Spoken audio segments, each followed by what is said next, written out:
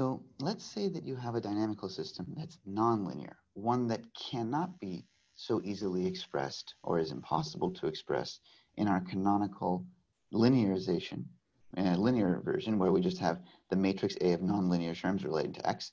And this could be anything. This could be a nonlinear system where you have something like X1 is equal to some constant A times X1 squared. Suddenly this is a nonlinear dynamical system because X squared, X1 squared isn't linear and you cannot put it into matrix form uh, correctly. Or let's say you have an interaction such that x2,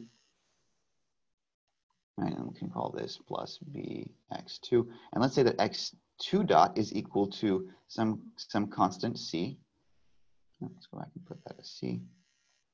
Some constant c times x1 and x2, right? The product of x1 and x2. This is also nonlinear because there's this interaction term.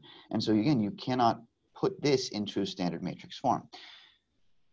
This doesn't mean that uh, some of our previous ideas aren't possible. There's still, there are still mechanisms where we can, for example, find the fixed points. You can still find the fixed points of the system by setting things equal to zero and solving for x1 and x2. That will still give you fixed points. These are now fixed points of the nonlinear dynamical system.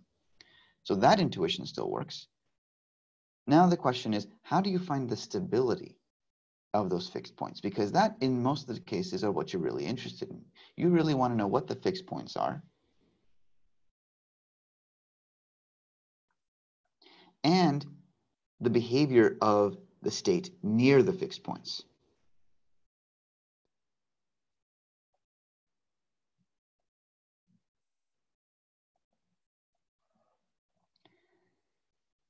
And to do that, you need to perform a stability analysis. But if you don't have it in matrix form, if you don't have the system in matrix form, how do you decompose the eigenvalues? How do you find the trace? How do you find the, the determinant so that you can use the Poincare diagram as described before to find the stability of the fixed points? And the answer is directly, fully analytically, you cannot. Because again, the system is nonlinear. But what you can do is you can perform a linearization. If you perform a linearization, you're making an assumption, which may or may not be true, but in most cases turns out to be rather true, that the behavior of the system near the fixed points acts linearly. And the way we do that is we take the Jacobian of the system of equations. So what is the Jacobian? A quick review, right?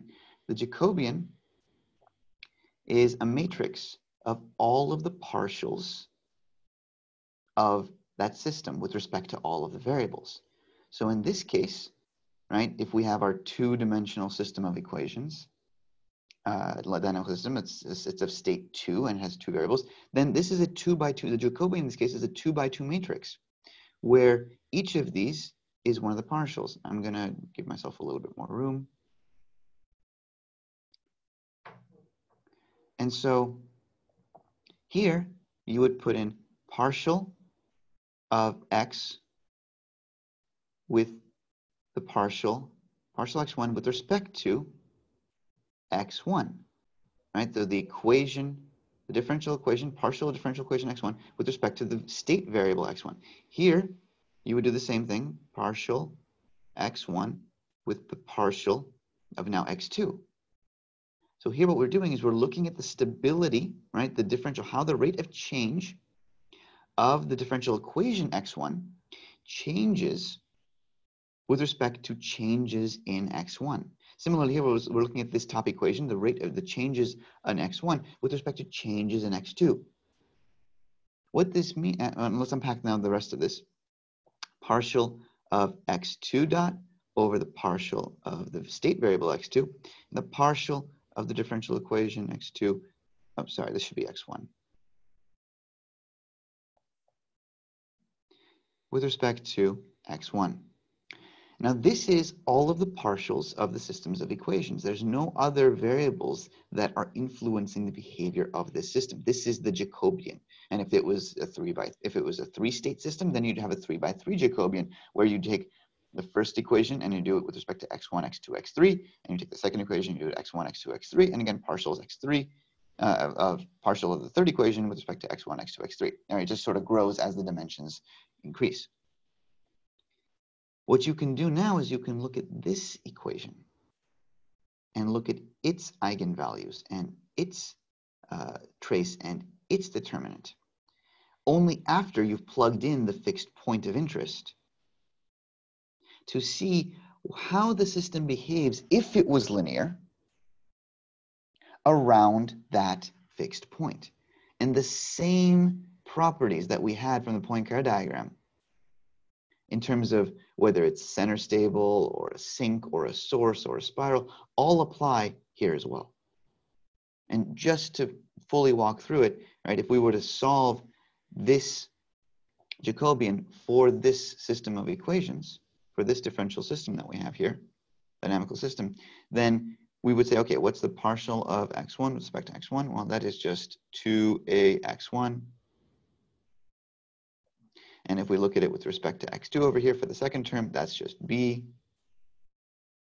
And then over here, we're going to look at this, and we've got c x2, and here we have c x1. And so this is our Jacobian.